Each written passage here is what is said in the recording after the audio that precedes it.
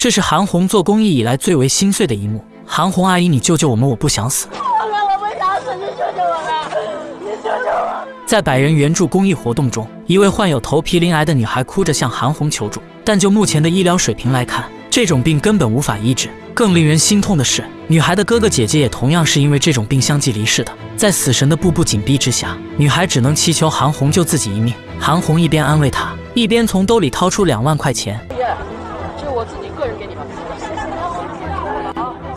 当女孩得知自己还有一线生机，情绪激动，当场晕了过去。而这样的例子，韩红也不是第一次见到了。做公益这么多年，韩红见了太多身处困境的穷苦百姓。一九九九年，贵州的马连河景区曾发生过一起非常严重的缆车事故。黑心商人为了牟利，将原本只能承载十个人的缆车硬塞进去了三十个人。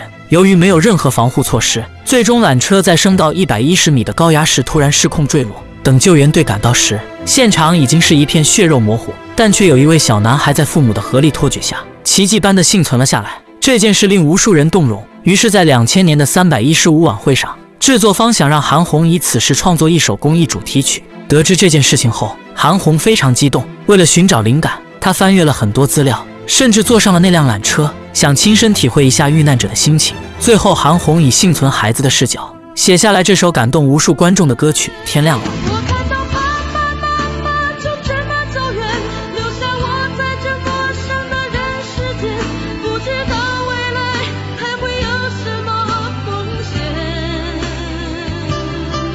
事后，韩红对事故中的幸存男孩潘子浩很是牵挂。经过多方寻找，他最终见到了这个让他牵挂依旧的孩子。两人初次相见就抱头痛哭。童年时期的韩红很少得到父母的关爱，看同病相怜的潘子浩，他非常心疼，于是决定将他收养，并改名为韩厚厚。年近五十的韩红为了做慈善，至今未婚未育，但她却是三百个孩子的妈妈。被她救助的家庭更是数不胜数，甚至为了做公益倾尽所有，真是让人敬佩。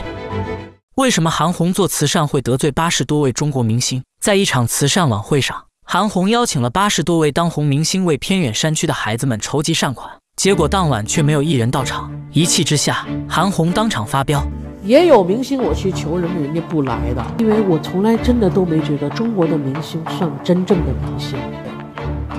国际上的大牌明星，他们都是有爱心的。有国家民族责任感，我们呢？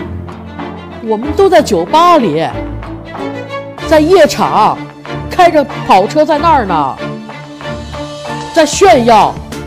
在韩红的慈善道路上，作秀两个字始终伴随着她。但其实最早做公益的时候，韩红是非常低调的。只是后来她发现，仅靠自己一个人的力量太过薄弱，必须号召更多的力量。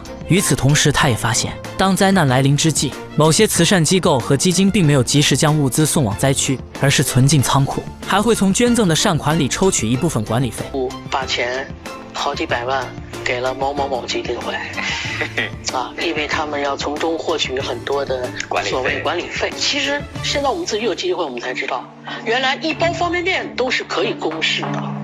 为了让这些善款第一时间送到灾区，于是韩红成立了自己的基金会。从二零一一年开始，韩红就发起了百人援助活动，并带着志愿者们去偏远山区做慈善。期间，韩红爱心团队累计义诊四万余人，免费为患者做手术两千三百余例，为基层医生培训，捐赠各种医疗设备。团队也从最初的几十人发展为五十多人。有人说，这是史上规模最大的流动三甲医院。在活动中，韩红不止一次掉过眼泪。头发白了就再染回来，但这次活动也让韩红被推入舆论漩涡。有人说她反应过激，觉得她是在作秀。对此，韩红从未替自己辩解过。这么长时间，由她带领的团队捐款超过十亿余元，其中韩红自己就捐了四千多万。据说她参加歌手也是为了多赚点钱。她曾说过快要把自己捐空了。有朋友劝她不要这么拼命，做公益也要有个度。可韩红却不以为意，因为接触过黑暗的人比任何人都向往光明。相信未来还会有无数个韩红会出现。何炅怎么也想不到，自己人走茶凉后，沈腾和马丽会赐予他一张免死金牌。这一季《向往的生活》中，何炅因为犯事后显得格外落寞。可就在嘉宾沈腾和马丽的一番话之后，他渐渐放下戒备，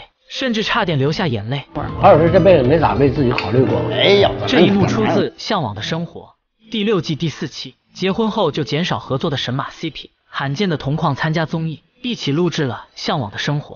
起初，所有人都以为他们无非是为了宣传即将上映的新电影《独行月球》。可看了正片才发现，两人关于宣传电影的画面几乎寥寥无几，反而说了一大片肺腑之言，感谢何就跟你说，我说师傅，我说你看这就能能上宣传吗？你嘣儿都没打，等我。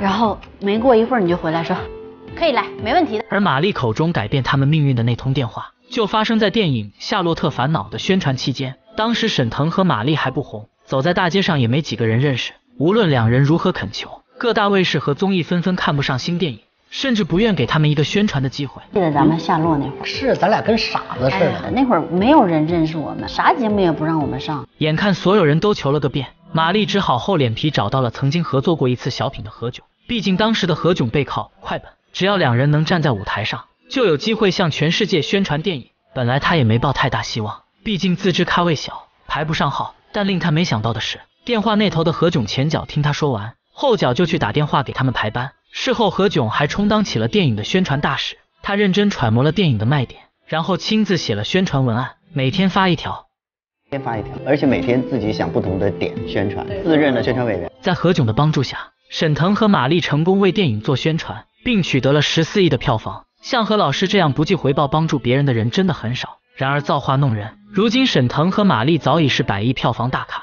而何炅却深陷送礼取向成谜，主场节目被撤等负面新闻中，人走茶凉万人嫌。可沈腾和马丽却只参加了何炅的常驻节目。听到沈腾和马丽的话后，何炅的心里感到无比温暖，眼泪在眼眶里大转。那一期的的节目不仅收视率飙升，众人也知道了何炅的为人善良。